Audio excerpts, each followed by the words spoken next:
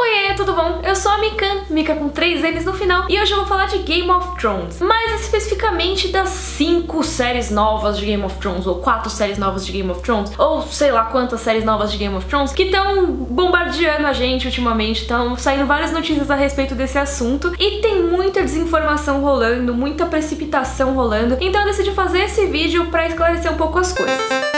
Essas notícias são de que possivelmente Game of Thrones vai ter alguns spin-offs na televisão. Pra quem não sabe, spin-off é uma série derivada. É normalmente quando você pega o mesmo universo e coloca uma outra história. Pode ser de algum personagem que já foi apresentado na franquia. Por exemplo, Better Call Saul é uma série sobre o começo da carreira do Saul Goodman, que é um personagem de Breaking Bad. Ou pode ser de uma aventura de outros personagens que não necessariamente interagiram com os personagens da franquia, ou então interagiram só no passado. Por exemplo, Animais Fantásticos e Onde Habitam é uma franquia derivada derivado, ou seja, um spin-off de Harry Potter, porque é no mesmo universo lá no mundo bruxo da J.K. Rowling, só que se passa muitos anos antes e com outros personagens. E a HBO tem a intenção de fazer séries derivadas de Game of Thrones, mais especificamente prequels, que são histórias que aconteceram antes do que foi mostrado pra gente na série de TV principal. E eles estão desenvolvendo cinco spin-offs diferentes. Primeiro estavam falando que eram quatro e agora disseram que são cinco. Mas calma, gente, porque eu vi muita notícia por aí dizendo que a HBO vai fazer quatro séries depois de Game of Thrones, quatro continuações de Game of Thrones. E não é bem assim. Essas séries, por enquanto, estão no estágio super inicial de desenvolvimento e é muito difícil saber se elas vão vingar ou não. Eu até quando saíram as notícias, eu fiquei com a pulga atrás da orelha, porque eu tava esperando saírem mais informações a respeito disso, já que tava muito disso que me disse, sabe? E aí que bom que eu esperei, porque logo saiu um post no blog do George R. R. Martin, pra quem não sabe, é o autor dos livros de Game of Thrones, né, das Crônicas de Gelo e Fogo, e aí ele fala bastante sobre esse assunto, porque ele tá envolvido nesse processo. Então nesse vídeo aqui eu vou acrescentar o que ele disse e as informações que a gente já tinha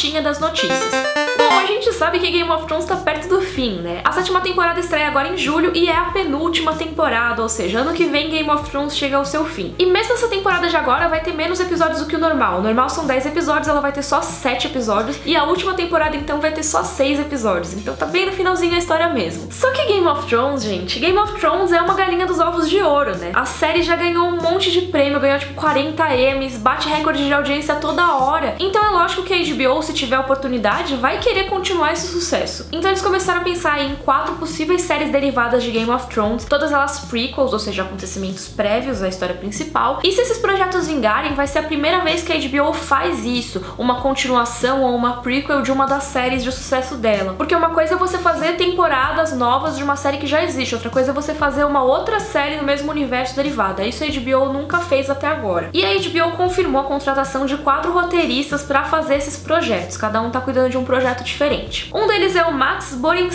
Que foi o roteirista do Godzilla de 2014 e foi um dos que escreveram o Kong e Ilha da Caveira, que estreou mais recentemente. Também tem o Brian Helgeland, que é um dos roteiristas de Los Angeles, Cidade Proibida, e mais um monte de filme, tipo O Mensageiro e Teoria da Conspiração. Tem a Jane Goldman, que trabalhou em vários filmes inspirados em HQ, por exemplo, Kingsman, X-Men Primeira Classe e Kick-Ass. E tem também a Carly Ray, que trabalhou em Mad Men e The Leftovers. Uma coisa interessante a notar aqui é que tem esses roteiristas, mas o George. R. Martin tá pessoalmente envolvido nesses projetos. A princípio, a imprensa tinha dito que ele só estava envolvido em dois projetos, o das mulheres, que eu citei por último, mas na verdade ele falou lá no blog dele que ele tá envolvido com todos os projetos, que todos esses roteiristas já foram visitar a casa dele lá em Santa Fé e todos eles passaram um tempão conversando com ele sobre o Westeros ou sobre as ideias que eles tinham para essa nova possível série. E aí o George R. Martin deu uma informação que nenhum desses sites de notícia tinham, que é que não são só quatro projetos, na verdade são cinco, porque eles decidiram, depois de pensar que seriam quatro projetos, eles tiveram uma outra ideia e contrataram um outro roteirista para fazer um quinto projeto. E o nome desse roteirista ainda não foi revelado, e o George R. R. Martin não quer dizer quem é, mas ele diz que é a pessoa que mais ama o Westeros Westeros depois de, tipo, ele, que é o criador de Westeros, e talvez o Hélio e a Linda, que são os donos do Westeros.org, que é um dos maiores sites de fãs dedicados às crônicas de Gelo e Fogo, e eles também são coautores do Mundo de Gelo e Fogo, que é o livro que explica Westeros e a história das famílias e blá blá. Então eles são muito próximos ao George R. R. Martin, e o Martin dizer que é uma pessoa que ama tanto Westeros quanto essa galera, ele tá botando fé nessa pessoa que vai escrever esse roteiro, gente. Quando as primeiras notícias, eu vi as manchetes assim, eu fiquei um pouco preocupada com o que, que eles poderiam pensar para fazer uma prequel e tal, mas eu fiquei bem mais sossegada quando disseram que o George R. R. Martin estava envolvido nos projetos. Porque querendo ou não, por mais que Game of Thrones tenha algumas coisas que eu critique, tem algumas diferenças em relação aos livros que eu acho preocupantes, eu acho que a essência da série, principalmente nas primeiras temporadas, que são as que tem mais envolvimento do George R. R. Martin, elas são bastante fiéis ao cânone ali das Crônicas de Gelo e Fogo. Elas pegam a essência de Westeros e blá blá. Então se ele tá envolvido, pelo menos nessa fase inicial de pensar os conceitos, pensar no pitch, né, dessas séries, eu acho que pelo menos elas vão fazer sentido, sabe? Elas vão se encaixar no universo ali de Westeros, vão fazer um sentido ali na história.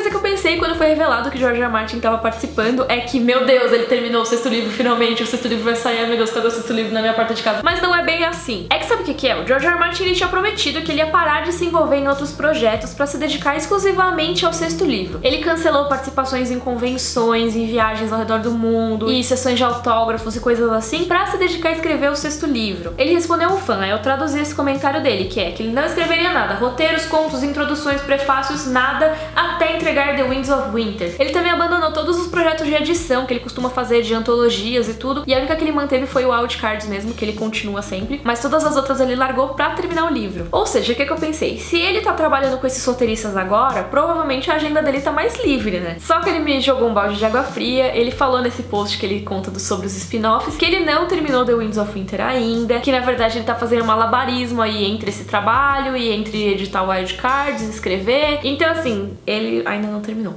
que é muito triste. E aí agora ele deve demorar mais ainda pra escrever, porque, né, se ele tá demorando tanto assim sem trabalhar em projetos de séries, imagina agora. Assim, tem um outro livro que ele tava trabalhando também, que eu falei sobre ele num vídeo aqui sobre um conto novo do George. R. Martin e tal, que é o que ele chama de Girl Marillion, né, que é tipo o Silmarillion dele, sobre a história Targaryen. Tem um vídeo que eu falei, vai estar tá aqui na descrição.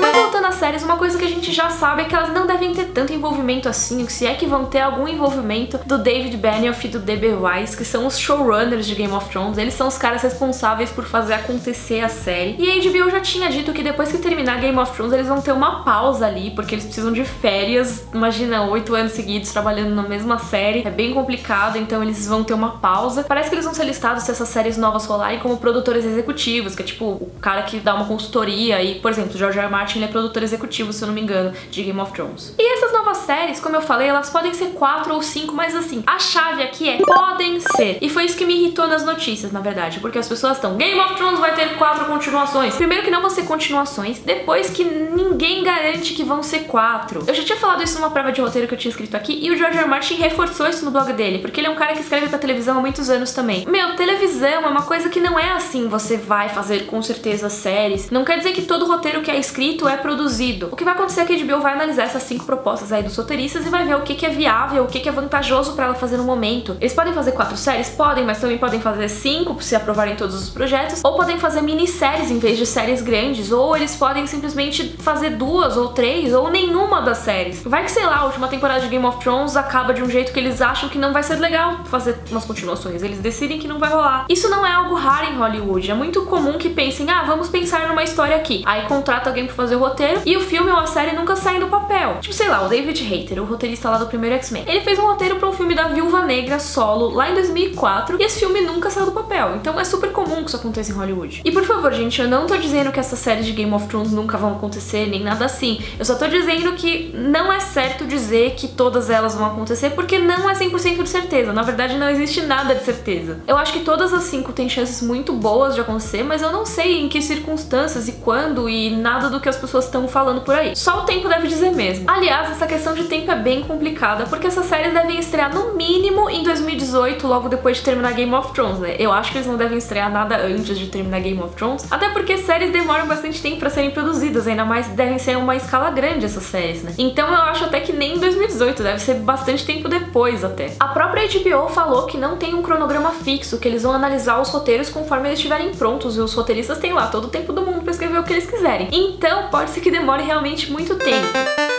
Minha opinião mesmo sobre o fato de produzirem prequels ou não. Eu acho muito legal de verdade, porque eu acho que existe muito material para ser adaptado, existem muitas histórias que podem ser contadas. O mundo que George R. R. Martin criou é muito rico e tem muita coisa ali que dá para ser explorada, sério mesmo. E eu decidi listar algumas possibilidades aí de histórias que eles possam contar nessas prequels. Só que pra não ficar muito gigante esse vídeo aqui, como eu tô fazendo vídeo todo dia no canal, vai ficar muito corrido e tal, eu decidi fazer um outro vídeo só sobre isso, só sobre essas possibilidades de outros enredos que eles abordem. Eu já adianto aqui que eles não vão abordar nem a rebelião do Robert, nem as aventuras de Duncan Egg, e eu explico isso certinho nesse próximo vídeo, que deve sair em breve aqui no canal. Então se você veio do futuro, talvez o link já esteja aí na descrição.